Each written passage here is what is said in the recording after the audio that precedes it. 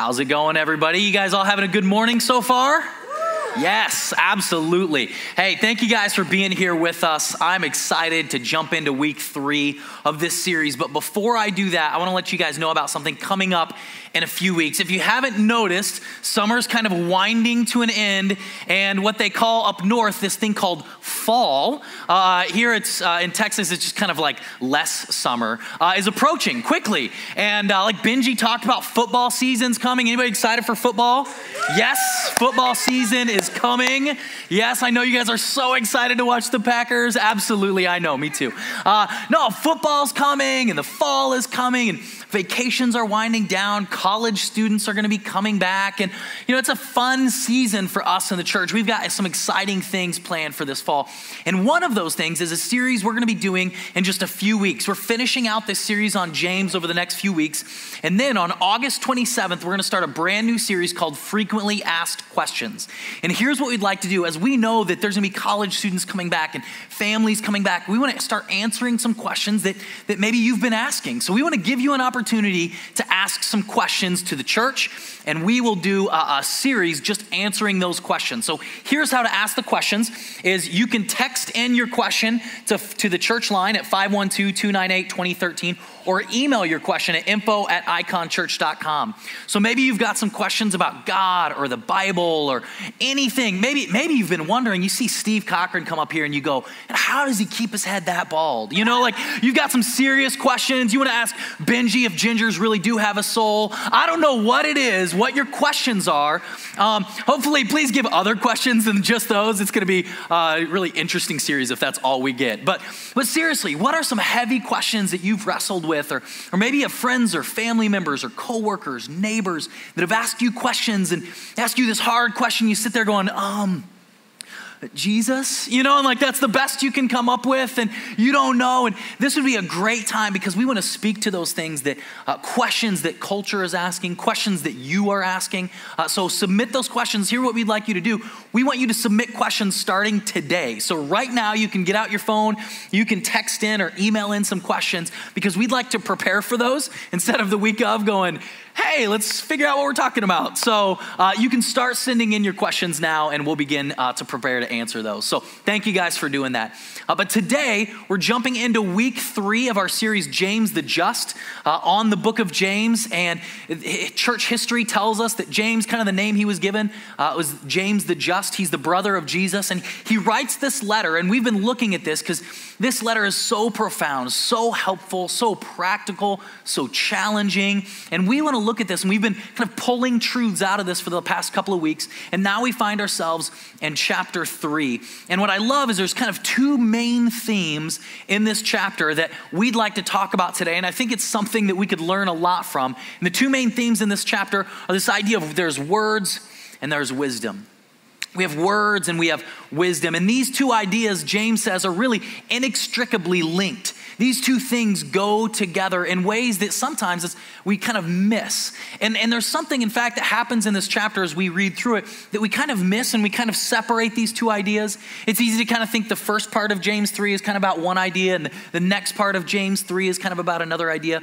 But this is actually something that we all deal with every single day. I mean, we all experience uh, these things, words and wisdom, and sometimes um, we have these, we have words without this, right? We have words without wisdom. Sometimes we say things that we regret. Has anybody had a case of uh, like foot and mouth disease where you say something and as the words are coming out of your mouth, you're like, no, you know, and you're wishing you could take those back? You say something in the heat of the moment, somebody says something to you, and you get kind of triggered, you get mad, and you say something back, and you're like, oh man, you regret it. You say something to your spouse or to your kids that you find yourself working back. Or many of you, if you're like, if you're like me, sometimes you find yourself in the shower thinking through that argument, and you're like, oh yeah, and I could have said this, and I should have said that. And that's where you get like all the best comebacks. And you're like, how can I get back to no, it just doesn't work, you know? And and yeah, we all struggle with kind of taming the tongue and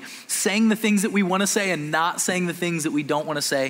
Uh, I, I, have a, a friend, it was actually a pastor of mine, who probably one of the nicest, most kind people I've ever met in my life. Very pastoral, very, I mean, just just a great, great guy. And uh, I loved getting to work with him. And he told me this story one time of he was at the grocery store, he was at HEB, and he saw someone from the church that he hadn't seen in a long time. And when he saw her, he waved at her and went over to her. And because that's just who he is. When he sees people out there, he connects with them. And, you know, so he went up and talked to her. And she did what, what happens so many times in the church. Like if I see you like out there in the real world, it's kind of like when you're a kid and you see your teacher like at the store and you're like, oh, this is awkward. Like, she's supposed to be in the classroom. And, and sometimes I get it. Like, I'll see people that haven't been in church in a while, and I'll go up to talk to them, and they'll instantly will be like, I've been busy um, with things, and I've been sick for six weeks, you know, and like instantly it's like, hey, it's fine. It's okay. Like, you don't have to, like, it's okay. And this person kind of started doing that, and oh, I've been real busy. And he said, oh, no, I'm sure. I totally understand, especially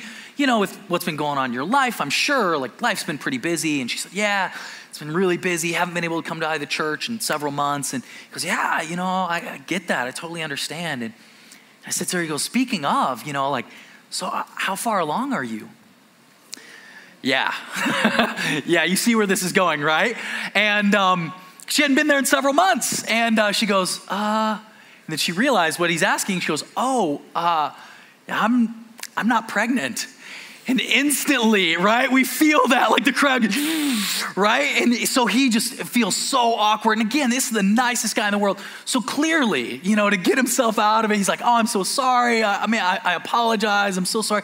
I mean, you know, so how old's the baby? Was it boy or girl? Yeah, yeah, you get it, right? You know, and so he's trying to dig himself out and he's just digging a deeper grave. And she says, yeah, I, I haven't had a baby. To which, you know, clearly he's basically asking, So you're fat now? You know, I mean, he just cannot. And he's like, Oh my gosh, I'm so sorry. At that point, I'd go, so I'm pastoring at Second Baptist now, and uh, you know you can feel free to go over there or not anytime you want. Like he just Oh, open one of the worst, like open mouth, insert foot, like just brain stop talking, right? Like we've had moments, maybe it's not to that extreme, but where we've said things and we regret it. We say stupid stuff or we get angry and we say something we don't really mean. We find ourselves in a moment and we're, we're meaning stuff, but we, we don't end up saying it. And this is something we all experience. And James actually speaks to this. In chapter three, James says this. He says, We all stumble in many ways. He's, he's like laying groundwork. And I, I love what James is doing. He's getting everybody on the same page. And he goes, We all stumble in lots of different ways, don't we? Yeah, absolutely. Every single one of us in this room, nobody's perfect. We all stumble in so many ways. And then he goes on anyone who is never at fault in what they say is perfect and able to keep their whole body in check. So James says, yeah, we all mess up in a multitude of ways, but the guy, the, the man, the woman who is able to control their tongue is perfect they can keep everything else in check. James is like saying that's the thing that's hardest for everyone to keep in check. It's our words. It's what we say. It's, it's the things that we do when we feel angry and how we respond to those things. James is saying, I get it. Yeah, we all mess up in so many ways, but this is the area that everybody, probably more than any other thing, this is where they trip up. It's in their words, it's in what they say. And I think we'd all agree and say, yeah, Absolutely. In fact, a couple verses later, I love uh, in the paraphrase, in the message paraphrase of this, uh, he puts it this way He says, By our speech, we can ruin the world, turn harmony to chaos, throw mud on a reputation, send the whole world up in smoke, and go up in smoke with it. Smoke right from the pit of hell. We see this all the time, don't we?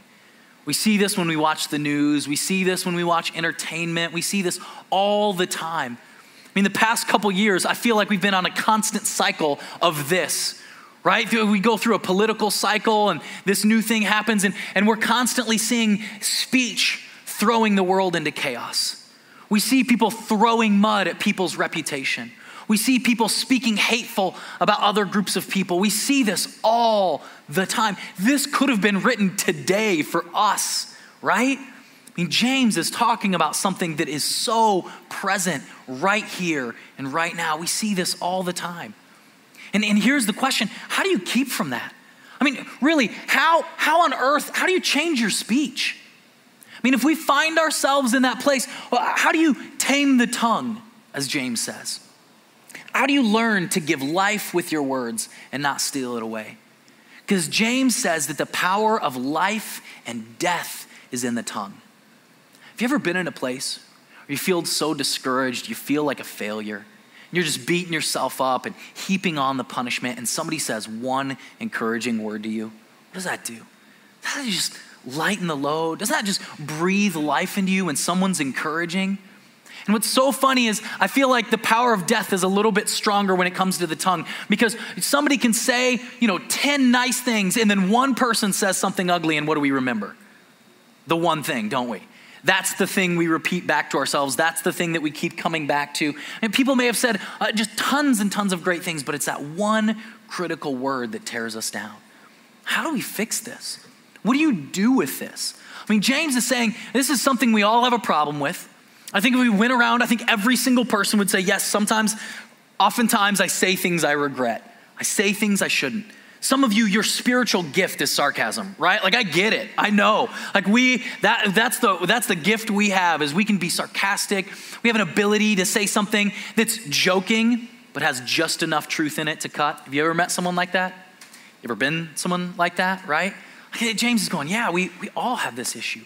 We all struggle. And we read this and we go, what do we, what do, we do with that?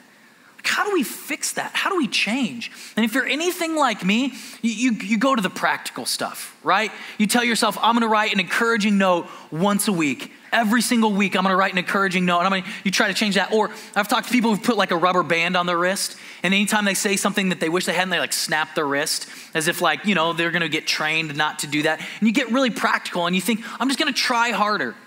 You see, James is saying, James says there's a problem with our words. So we often to try, we often try to change the way we talk, right? Because that's where the problem is. So conventional wisdom would say, well, just stop it.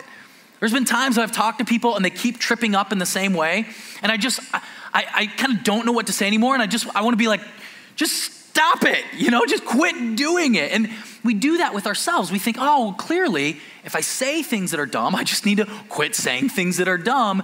And we get ourselves in a cycle where we don't change. We just think trying harder, working more, you know, if I just really bear down, if I really, if I try really hard, I'll get better. We fool ourselves because it doesn't work that way. And James actually speaks to this. You see, what happens is he goes on, he talks about the power of the tongue, and he talks about how, like a rudder on a ship can steer a huge boat, our tongue can shift and change the direction of our life. And he talks the power of the tongue and all of these things. And then in verse 13, if you open up a Bible and you turn to verse 13, it's a new paragraph probably. There's probably a new heading above it talking about wisdom. And it, this is what it feels like many times when we read this chapter that James is talking about the tongue, and we all struggle with this. And yes, life and death come in the tongue, and it's powerful. And we got it, you know, if anybody can get this in check, they can get their whole life in check. And he talks about that, and he goes, okay, done. Next topic, let's talk about wisdom. And he kicks off verse 13. He says this He says, Do you want to be counted as wise to build a reputation for wisdom? And it seems like like James kind of has ADD, right? And he's like, squirrel, you know, and he's like, let's talk about wisdom now. And he changes the subject all of a sudden. But we got to remember that this is a letter. This is one continuous thought that James is talking about the tongue. And then he continues on and says, Do you want to be counted as wise? And he says this He says, Here's what you do. So he gives a solution live well, live wisely, live humbly. It's the way you, uh, it's the way you live, not the way you talk, that counts. Now, this is counterintuitive. You might be sitting there going, hold on, wait a minute. It's, it's the way I live, not the way I talk, so I can say anything? Sweet, I'm good at that, right? Like, and it's not what James is saying. And I want you to look at this last part. It's the way you live, not the way you talk, that counts. Here's what James is saying you can focus all day long on, on the results, on the symptoms, but there's a cause to it, and it's the way we live. It's the way we look at our life. That's the main, that's the cause. And if you address that, you can take care of the symptom. See, when we focus on the symptom, when we just focus on our words, it's like putting the cart before the horse. It's the tail that's wagging the dog, right? We're, we're putting the wrong thing in priority. James says, listen, focus on the way you're living your life. He says, the way to change the words is to adjust your walk. the way to change your words is to adjust your walk. Now, what does he mean by that? What is he getting at? The way to change your words is to adjust your walk. You see, it's putting focus on something else. You see, like I said, this isn't conventional wisdom. This isn't what the world teaches us. See, because what gets the attention of the world is, is it the person in the trenches doing the hard work? No, it's the soundbite that gets all the clicks, right?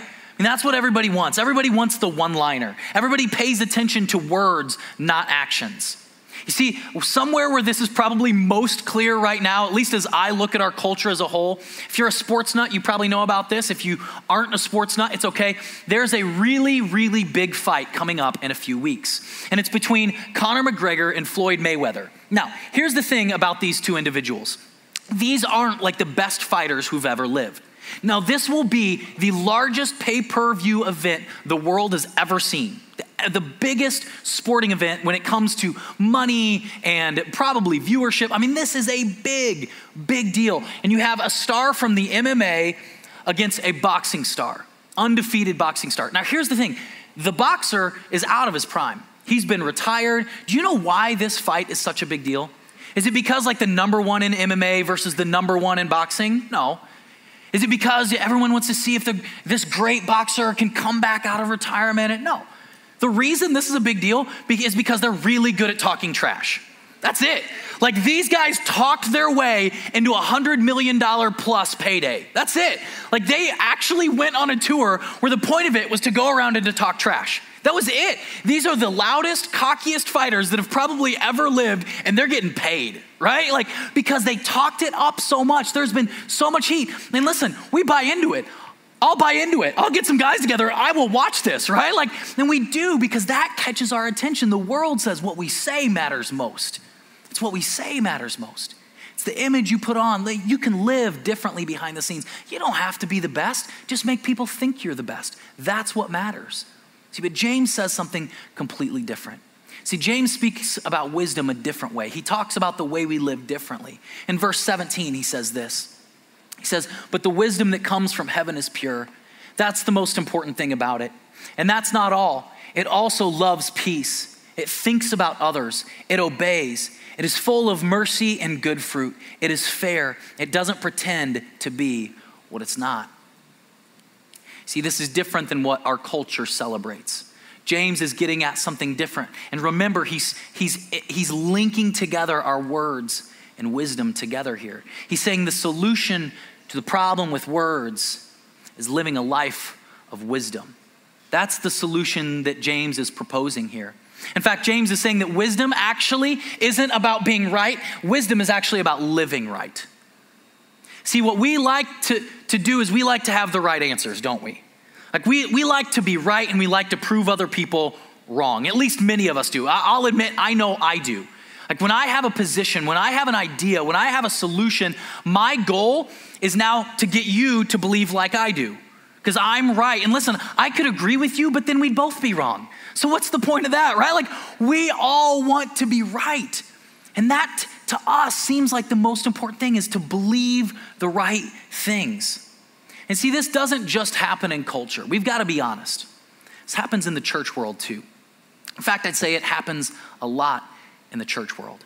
Denominations are framed up along theological beliefs and deciding who's in and who's out. This person believes this thing, so they're on the outside, but not all the way on the outside, just outside of us. And this person believes something real crazy to us. So we're gonna say they're all the way out. And, and we, we set up these frameworks about who's in and who's out, about believing the right thing. What's interesting is Jesus talked more about the way people live. And the things that Jesus celebrated and highlighted weren't right beliefs as much as he focused on right actions. That's why our goal, our mission here at Eikon Church isn't to get a group of people to believe the right things. Because if we can be honest, I mean, can we just get really honest right now? If God exists, and I think all of us would say he does, then probably, like the Bible says, his thoughts are above our thoughts, his ways are above our ways. We look back in church history and see where church history got it wrong time after time again. If we were to take all of our beliefs, we're probably wrong on some of them. Like, if I were to hold all of our beliefs, it'd be incredibly arrogant to say in the West, in America, in 2017, we finally got it right. Like throughout church history, like they've been wrong, they've been dummies, but we got it figured out, right? So, if we're being intellectually honest, we'd probably say some of this is wrong and some of this is right. The scary thing is, we don't know which is which. like, and what we what we do so many times, we pick one of those things out. We say this is the one that's going to decide who's in and who's out, and we're just pulling from a group of things that we could be wrong on. Let's look most to the things that Jesus looked most to. What Jesus pointed to were these things. What James is talking about is about living right. You see, there's been this age old adage. It's been attributed to everyone from Teddy Roosevelt to uh, leadership teacher John Maxwell. And it says this says, People don't care how much you know until they know how much you care. See, we can sit here as a church and tell people all the right things, but if they don't know how much we care, it's not going to mean a thing. See, if I can stand on this stage and I can be one person and I can say one thing, but if you were to meet me in life and I was a jerk or I was mean or I was cold, would you care about what I said on this stage? Would you give me a second if you knew in real life, you saw me, you know, maybe at a restaurant and I just was rude and disrespectful to a waiter or waitress and just treated them horribly? When I got back up on the stage the next week, what would you think?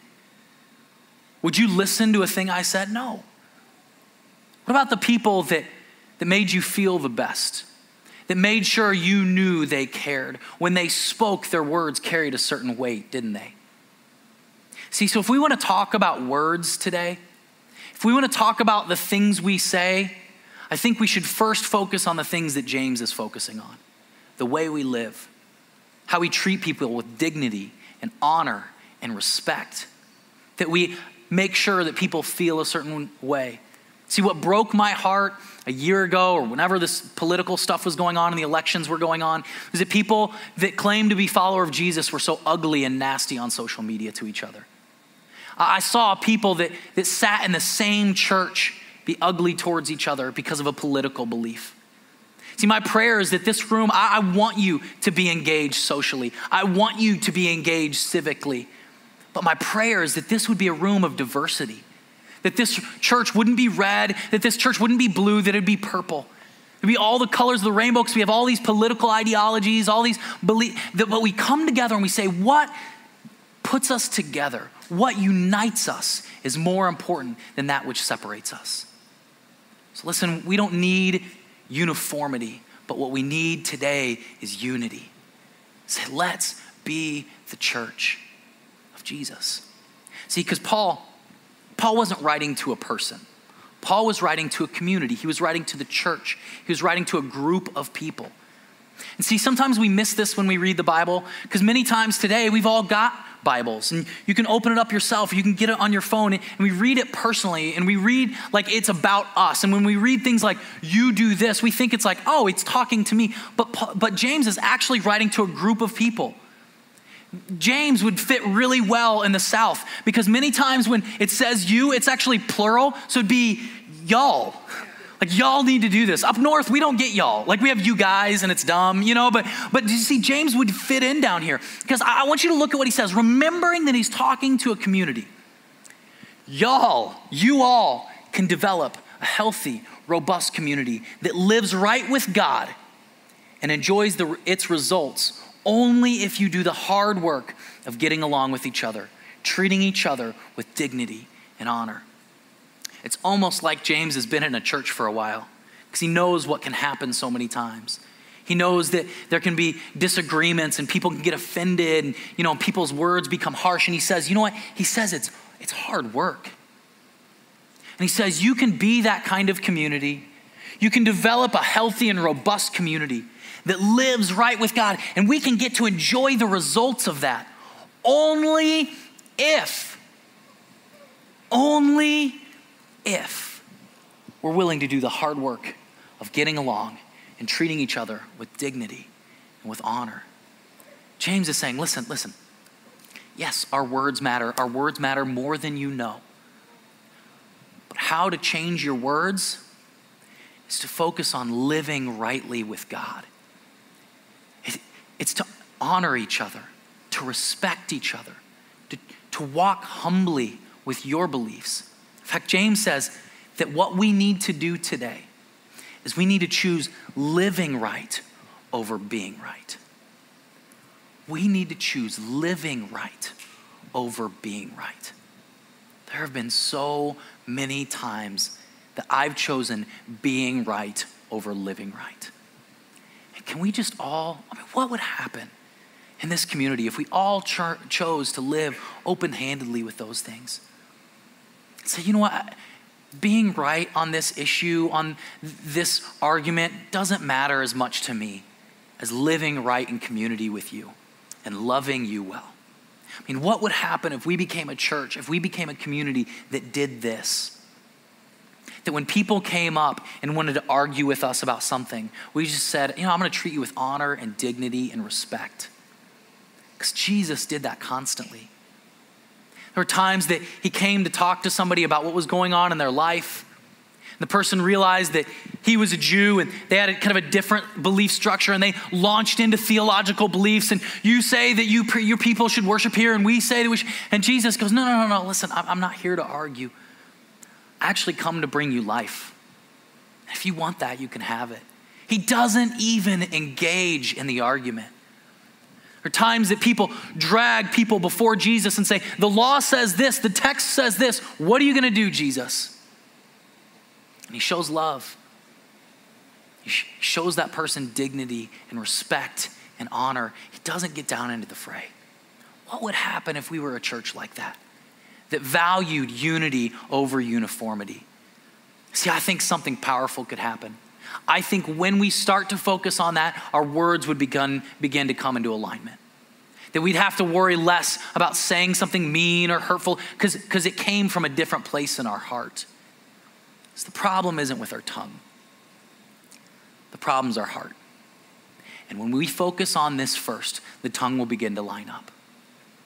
And my prayer for this room is that we would be a church that would focus on the things that Jesus focuses on. That we would be a church that would choose living right over being right. Amen? So, my homework for all of you today is to go out from this place and to do that and to put this into practice. Because it's one thing to stand on a stage and talk about. It's one thing to sit in a chair and listen to and agree with and go, oh, yeah, I need to do that. And it's another thing to walk it out out there. When you go back to work and you have that boss that's always cutting and cruel, and you want to say to your coworkers those sarcastic comments and cut your boss down, you choose not to. As you go back to school, kids out there, and there are some kids at, in your neighborhood or kids at school that are mean, and you choose to not be mean back to them, but to treat them with respect. So, all of us go back to our various lives. As we go back to our families, that we remember this. We remember today, I'm going to choose living right over being right. I'm going to choose living right over being right. Living right over being right. And as we do that, our words will come into alignment with that kind of wisdom, the wisdom of Jesus. So, my challenge for you is to go out there and to live right, and to do that, and put this hard work into practice. And as we work hard at this, I believe that we'll enjoy the fruit and the benefits of living in harmony with each other and living in harmony with God. Let me pray for you. God, I thank you so much